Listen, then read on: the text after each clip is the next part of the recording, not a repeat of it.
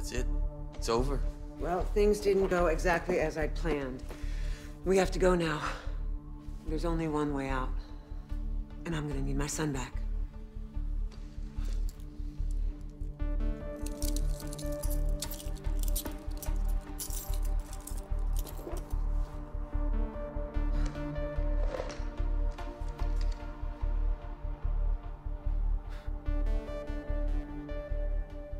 Why should I trust you? Because you can't afford not to. Because staying here means living the rest of your life in a cold, dark box alone.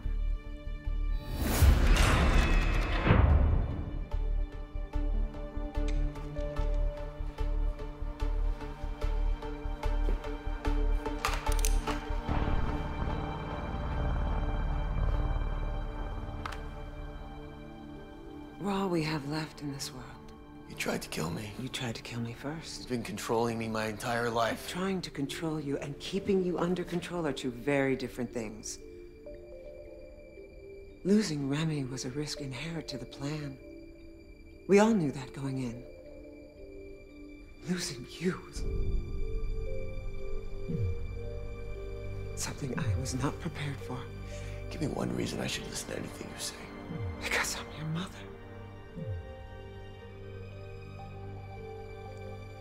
Love you, Roman. I saved you. I raised you.